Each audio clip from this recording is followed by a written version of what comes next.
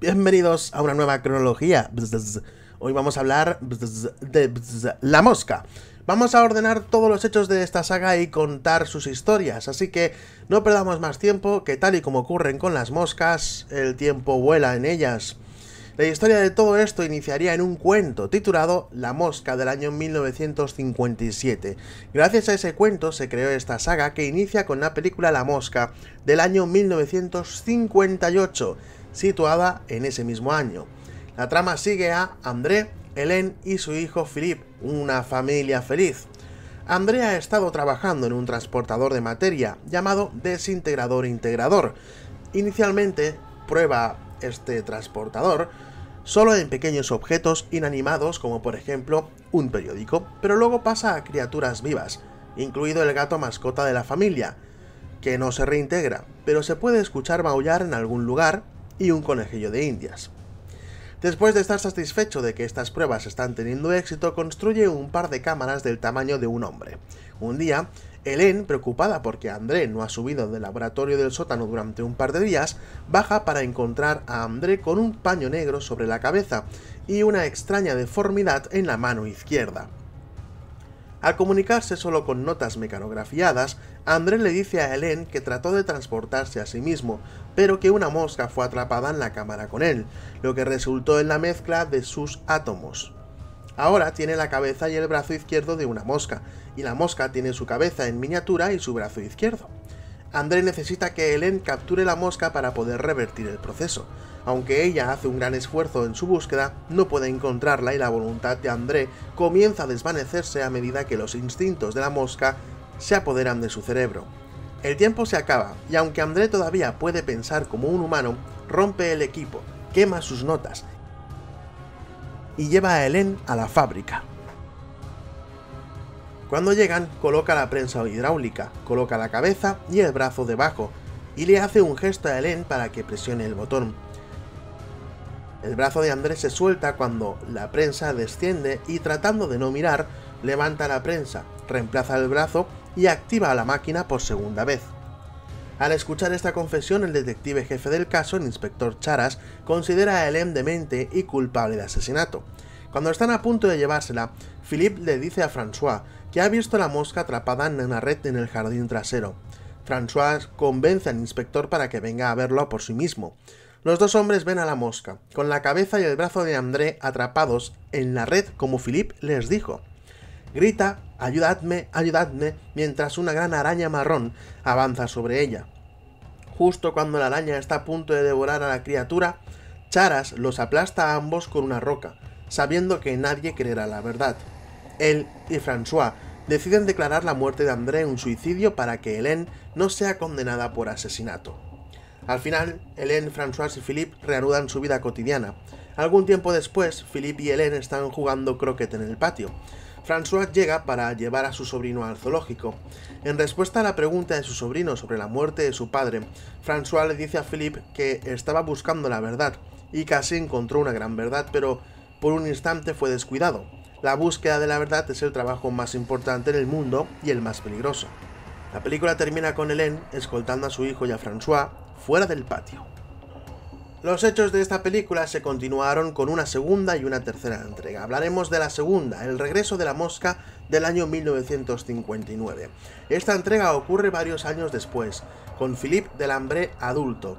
Él está decidido a reivindicar a su padre al completar con éxito el experimento en el que había trabajado. Su tío François se niega a ayudar y Philippe contrata a Alan Heinz de Delambre Frere y usa sus propias finanzas, pero los fondos se agotan antes de que se complete el equipo. Cuando Philippe amenaza con vender su mitad de Delambre Frere, François cede y financia al final el proyecto. Después de algunos ajustes utilizan el transportador para almacenar y luego volver a materializar los animales de prueba. Alan Hinds resulta ser Ronald Holmes, un espía industrial. Holmes intenta vender los secretos a una persona de infantería llamada Max. Antes de que Holmes pueda salirse con la suya, un agente británico se enfrenta a él. Holmes lo noquea y usa el transportador para almacenar el cuerpo. Cuando se rematerializa, el agente tiene las patas de un conejo de indias que se había desintegrado anteriormente, y el conejillo de indias tiene manos humanas. Holmes mata al roedor y pone al agente muerto en su coche, que envía al río San Lorenzo. Philip confronta a Holmes por todas las rarezas, se pelean y Philip pues queda inconsciente. Holmes esconde a Philip de la misma manera que lo hizo con el agente, pero en un giro de malicia atrapa una mosca y la agrega al transportador con él. François rematerializa a Philippe pero con una cabeza, brazo y piernas de una mosca gigante, mientras que la pequeña mosca tiene cabeza, brazo y pierna de Philippe. Philippe con cabeza de mosca corre hacia el coche, rastreando y matando a Max. Espera que llegue Holmes y también lo mata. Luego regresa a casa, donde el inspector Beecham encontró y capturó la mosca con cabeza de Philippe. Ambos se colocan juntos en el dispositivo y se reintegran con éxito, restaurando a Philippe a su forma humana normal. A esta secuela le siguió La maldición de la mosca, que tardó unos cuantos años más en llegar. Se estrenó en 1965. Esta película es la última de la trilogía original. Y vale, vamos a hacer un alto. Aunque es una secuela de las otras dos, la historia de fondo utiliza para esta entrega no coincide con la continuidad de las dos primeras películas, sin embargo, construye su narrativa sobre elementos y personajes de aquellas películas. Al final podremos ver que esta película puede ser incluida o no en el canon clásico. Esta entrega se centra en Martín del Hambre. Él está conduciendo a Montreal una noche cuando ve a una joven llamada Patricia Stanley corriendo en ropa interior. Se enamoran y pronto se casan, sin embargo ambos guardan secretos. Ella ha escapado recientemente de un manicomio. Él y su padre Henry participan en experimentos radicales en teletransportación que ya han tenido consecuencias terribles. Martín sufre de genes de mosca regresivos que lo hacen envejecer rápidamente y necesita un suero para mantenerse joven. En una mansión laberíntica en la zona rural de Quebec, Martín y Henry han teletransportado con éxito a personas allí y Londres. Sin embargo, las fallas anteriores resultaron en víctimas horriblemente desfiguradas y dementes que están encerradas en los establos. La primera esposa de Martín es una de ellas, al igual que Samuels y Dale, dos hombres que habían trabajado como asistentes de los Delambres. El hermano de Martín, Albert, sirve en la estación receptora de Londres, pero desea terminar el proyecto de teletransportación y escapar de la obsesión que ha llevado a su abuelo, su padre y su hermano. La policía y la directora del asilo rastrean a Patricia hasta la propiedad de Delambre, donde se enteran de que se ha casado con Martin, pero pronto se descubre que tenía una esposa anterior de la que no se divorció. El inspector Charas, que había investigado a André del Hambre y ahora es un anciano en el hospital, le cuenta al inspector Ronet sobre la familia del Hambre y sus experimentos. Cuando la policía comienza a acercarse, una mezcla de insensibilidad y locura aflige a los del Hambres y deciden abandonar su trabajo y eliminar toda evidencia de sus fracasos. Someten y teletransportan a Samuels y Dale, pero tras la reintegración en Londres, los dos hombres se fusionan en una sola masa que se retuerce. Albert se horroriza al verlo y lo mata con un hacha, destruyendo el equipo de teletransportación en el proceso. Tai y Wan, una pareja china que había estado ayudando de los delambres, y lo cierto es que me hace mucha gracia, se llaman Tai y Wan, Taiwan, Taiwan, ¿qué cojones? Bueno, han tenido suficiente y abandonan la finca de Quebec. Henry convence a Martín de que deben enviar a la inconsciente Patricia a Londres y luego seguirla para escapar de la policía. Martín se resiste, temeroso de que pueda lastimarse, por lo que Henry se ofrece como voluntario para ir primero. Henry no se rematerializa y se pierde. Al darse cuenta de lo que sucedió, Albert sale del laboratorio, sollozando, y no se le vuelve a ver. El inspector Ronet llega a la finca, pasando a Tai y Wan mientras se alejan. Patricia se despierta en la cámara de teletransportación, pero escapa antes de que se complete la secuencia de transmisión. Martín la persigue, pero comienza a envejecer nuevamente. Sin su suero, muere rápidamente tirado en el asiento delantero de su coche. Poco después, Ronet lo encuentra reducido a un esqueleto y escolta a la muy sacudida Patricia de regreso a casa. Como veis, esta última película poco o nada continúa con los hechos de las dos anteriores, pero bueno, más adelante vamos a ver qué hacemos con ella. Ahora vamos a hablar del canon remake. La primera película que veremos en este canon es La Mosca, del año 1986. Sus hechos también ocurren ese año, y cuentan la historia de Seth Bramdell, un científico brillante pero excéntrico que conoce a Verónica Ronnie Quaife, una periodista científica, en un evento de prensa.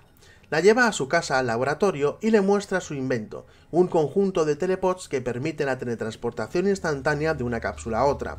Seth convence a Ronnie de mantener el invento en secreto a cambio de los derechos exclusivos de la historia, y ella comienza a documentar todo su trabajo. Aunque los telepodos pueden transportar objetos inanimados, mutilan el tejido vivo, lo que se demuestra cuando un babuino queda del revés durante un experimento. Seth y Ronnie comienzan también una relación sentimental.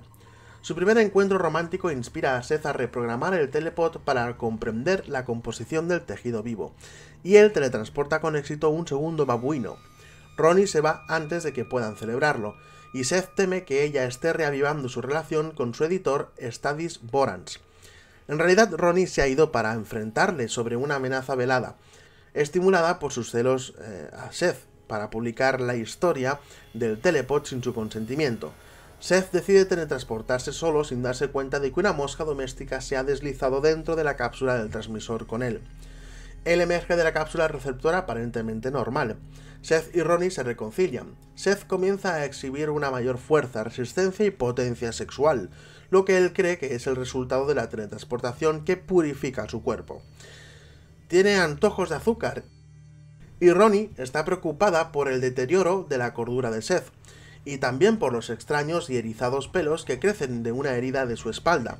Seth se vuelve arrogante y violento, insistiendo en que el proceso de teletransportación es beneficioso, y trata de obligar a Ronnie a someterse a la teletransportación. Cuando ella se niega, él la abandona. Va un bar y participa en un pulso donde deja a su oponente con una fractura compuesta. Conoce a una mujer llamada Tawny y la lleva de vuelta a su almacén donde tienen relaciones sexuales, y Seth intenta obligarla a teletransportarse. Ronnie la rescata de la teletransportación.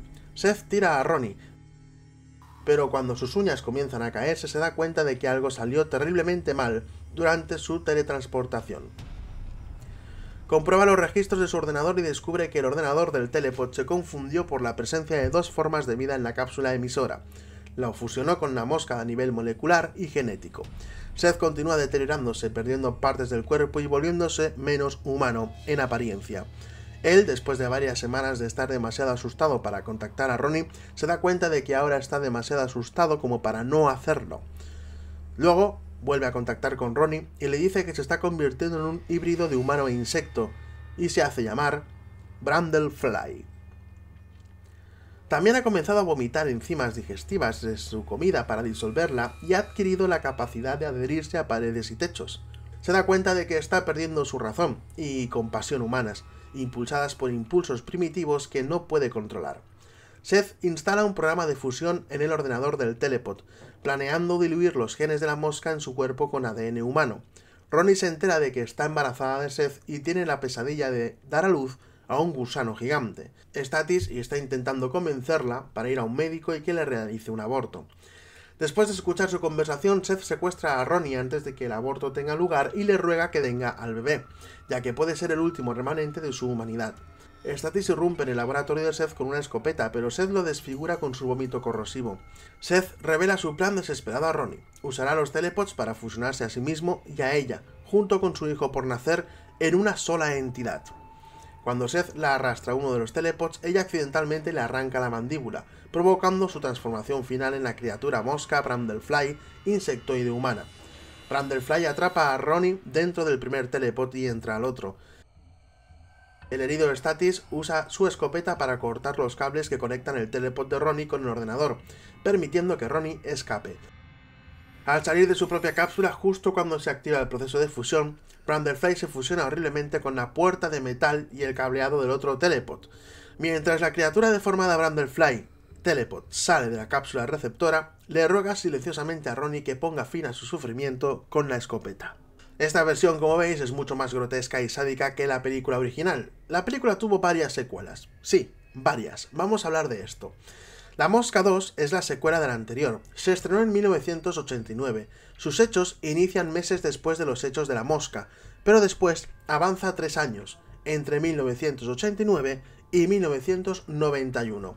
Varios meses después de los eventos de la mosca, es decir, nueve meses después en concreto, eh, Ronnie tiene al hijo de Seth Bramdell. Ella da a luz a un saco larval que se está retorciendo, así que del shock se muere. El saco se abre para revelar un bebé que aparentemente es normal. El niño es llamado Martin Bramdell y es criado por Anton Bartok, propietario de la compañía que financió los experimentos de teletransportación de Bramdell y totalmente consciente del accidente que fusionó genéticamente a Seth con una mosca doméstica. Martin crece en un entorno clínico, su madurez física y mental está altamente acelerada y posee un intelecto de nivel genio, reflejos increíbles y además no necesita dormir. Sabe que está envejeciendo más rápido que un humano normal, pero desconoce la verdadera causa ya que le dijeron que su padre murió de la misma enfermedad de envejecimiento rápido. A los tres años, en 1989, Martín tiene el físico de un niño ya de 10, y con frecuencia se escabulle y explora el complejo de Bartok. Encuentra una habitación que contiene animales de laboratorio y se hace amigo de un perro. La noche siguiente le trae algo de su cena, pero no lo encuentra. Entra en una cabina de observación con vista a la Bahía 17, Allí, los científicos han logrado reensamblar los telepods de Bramdell, pero no duplicar la programación que les permitió teletransportar sujetos vivos. El intento de teletransportar al perro del que se había hecho amigo Martín falla, dejándolo terriblemente deformado. El perro mutila a uno de los científicos y horroriza al joven Martín. Dos años después, en 1991, el cuerpo de Martín ha madurado hasta el de un hombre de 25 años, y solamente tiene 5 años. Y en su cumpleaños, Bartok le presenta a Martín un bungalow propiedad de la instalación de Bartok. También le ofrece un trabajo, reparar los telepods de su padre. Se disculpa por el perro y le asegura a Martín que su sufrimiento fue breve. Cuando Martín está incómodo con la propuesta, Bartok le muestra las cintas de vídeo de Ronnie, que documentaron el progreso de Seth con los telepods. Al ver a su difunto padre describir cómo los telepods aparentemente mejoraron y energizaron su cuerpo, Martín acepta la propuesta de Bartok. Cuando comienza a trabajar en los telepods, Martín se hace amigo de una empleada, Beth Logan. Beth invita a Martín a una fiesta en la división de especímenes, donde descubre que el perro mutado aún se mantiene vivo y está siendo estudiado. Pensando que Beth es consciente del encarcelamiento del perro, Martín discute con ella, abandona la fiesta y se dirige al corral del animal. El perro está deformado y tiene un dolor terrible. Todavía recuerda a Martin y felizmente mueve la cola cuando le ve, antes de que él lo sacrifique con cloroformo mientras llora. Martin está de muy mal humor por un tiempo y niega tener algo que ver con la muerte del perro cuando Bartok le pregunta al respecto. Martin se reconcilia con Beth y vuelve al momento clave de su padre cuando se da cuenta de que el ordenador del telepod necesita ser creativo para analizar la carne viva. Martín luego le muestra a Beth sus telepods perfeccionados teletransportando a un gatito sin ningún daño. Se convierten en amantes y tienen relaciones sexuales, pero Martín comienza a mostrar signos de su eventual mutación en un híbrido humano-mosca. Martín diseña una posible cura para su condición que implica cambiar sus genes mutados por genes humanos sanos. Martín deja de lado esta idea cuando se da cuenta de que la otra persona estaría sujeta a una grotesca disfiguración genética. Beth es despedida de su empleo, Martín se entera de que Bartok ha escondido cámaras en su bungalow. Martín entra en la sala de registros de Bartok donde se entera del verdadero destino de su padre. Bartok se enfrenta a Martín y le explica que ha estado esperando su inevitable mutación. Él revela su plan para usar el cuerpo de Martín y el potencial de los telepods para la manipulación genética con fines de lucro. Los genes de los insectos de Martin se despiertan por completo y comienza su transformación en un híbrido humano-insecto. Escapa de Bartok Industries. Bartok no puede usar los telepods ya que están bloqueados por una contraseña. Martín también instaló un virus informático que borrará la programación de los telepods si se ingresa una contraseña incorrecta. Bartok ordena una búsqueda de Martin. Martin va a ver a Beth y le explica la situación. Los dos huyen. Visitan al viejo confidente de Ronnie, Statis, quien le confirma que los telepods son su única oportunidad de cura. Siguen corriendo, pero los cambios físicos y emocionales de Martin se vuelven demasiado para que Beth los maneje, y ella finalmente se los entrega a Bartok. Sin revelar la contraseña, se ve envuelto en un capullo. Bartok interroga a Beth por la contraseña. Poco después, la Martin Fly, completamente transformada, emerge de su capullo y penetra en la bahía 17 después de un sangriento alboroto para alcanzarlo. Agarra a Bartok y lo obliga a escribir la contraseña, que se revela como DAT, que vendría a ser padre. Luego arrastra a Bartok y a sí misma un telepod. Martin Fly le hace un gesto a Beth para que active la secuencia de intercambio de genes y, a pesar de las protestas de Bartok, Beth cumple. Martin es restaurado a una forma completamente humana, mientras que Bartok se transforma en un monstruo extraño que ahora se mantiene en la misma celda que solía estar el perro. En la toma final de la película, cuando la criatura Bartok se inclina hacia un plato de comida, nota que hay una mosca. Bien, aquí perfectamente podríamos terminar la historia de Martin, pero no. Su historia continuó en el cómic The Fly Outbreak del año 2015. En este cómic, Martin busca una cura para Anton Bartok, a quien previamente había transferido sus genes mutantes al final de la Mosca 2. En ese intento de cura, el experimento sale mal causando un brote transgénico. Sí, sé que no he podido profundizar mucho en el cómic, pero es que tampoco he encontrado mucho más. Así que vamos a los órdenes de visionado, que tendríamos solamente dos, pero antes, como siempre, vamos al orden de estreno. En cuanto a orden de estreno, tendríamos The Fly, Return of the Fly, Curse of the Fly de 1965, The Fly de 1986, The Fly 2 y el cómic The Fly Outbreak del 2015. Ahora sí, el canon Mosca original sería The Fly, Return of the Fly y Curse of the Fly. Y el canon Mosca ochentera sería simplemente The Fly. The Fly 2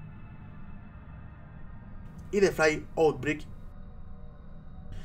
En el canon Mosca original, si os apetece poner Curse of the Fly como un spin-off de la saga, ya que no sigue concretamente los eventos de las dos, podéis, pero esas tres funcionan bien tal y como están.